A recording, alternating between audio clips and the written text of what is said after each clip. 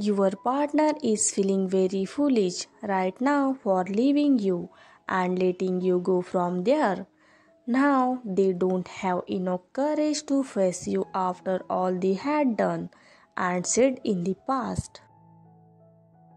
In the past, maybe their family or friends always told them wrong information and they are feeling regretful of listening to wrong people.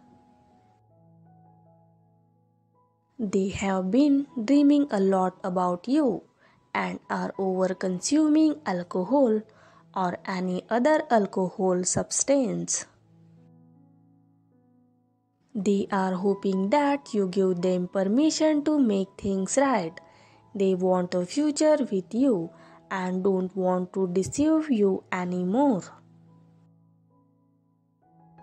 Even though they are not currently in their life, you are the best thing that happened to them and they are planning a gift for you. Thank you for watching.